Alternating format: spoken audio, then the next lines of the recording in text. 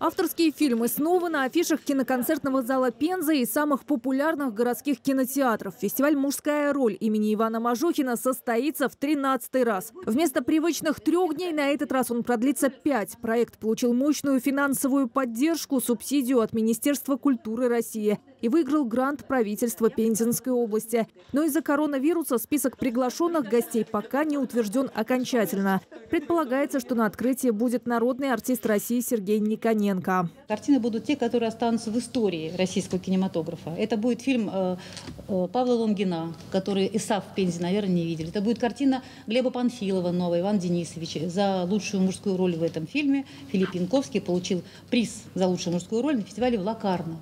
Не где-то в России, даже в Лакарно. 12 показов игрового кино – и где-то шесть э, сеансов документального кино в Пензе и в Пензенской области. Конечно, основной площадкой будет Пенз-концерт, традиционно, где пройдет открытие э, фестиваля, где пройдет закрытие фестиваля, но также к нам присоединяются и кинотеатры, город Кузнецк, ну и, конечно, родина Мажухина Кондель. Мужская роль – это традиционно еще и попытка воспитать зрителя, его вкус и любовь к немассовому киноискусству. А потому в этом году организаторы проведут два мероприятия вне программы показов. Это не скучная лекция от критика Егора Беликова и круглый стол об образовании в кинематографе. Ну а тем, кто просто хочет посмотреть фильмы, необходимо заранее взять бесплатный пригласительный. 26 ноября э, традиционно в кассе филармонии по адресу Суворова 215.